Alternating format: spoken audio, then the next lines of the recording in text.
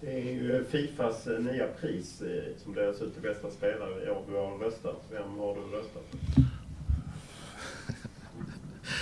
Jag röstade på Zlatan. Som nummer ett? Jag röstade på Zlatan som nummer ett. Jag är så ointresserad av allt sånt så jag kommer knappt ihåg. Det var ett tag, det var länge sedan. Visst var det Zlatan nummer ett och så var det Ronaldo och Messi va? Eller Messi då. Messi och Ronaldo var nog. Eh, du?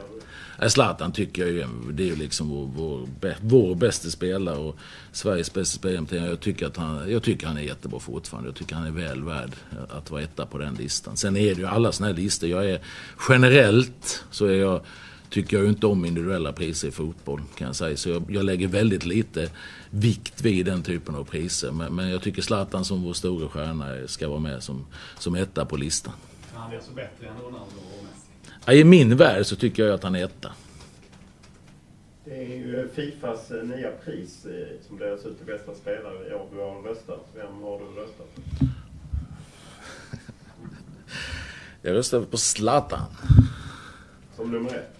Jag röstade på Zlatan som nummer ett. Jag är så ointresserad av allt sånt så jag kommer knappt ihåg. Det var ett tag, det var länge sedan. Visst var det Zlatan nummer ett och så var det Ronaldo och Messi va? Ja, eller Messi då. Messi och Ronaldo eh?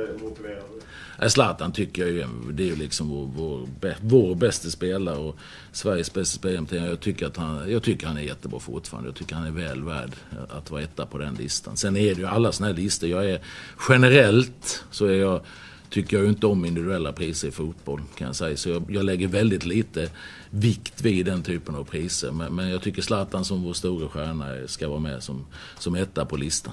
Han är så bättre än Ronaldo och Messi. I min värld så tycker jag att han är etta.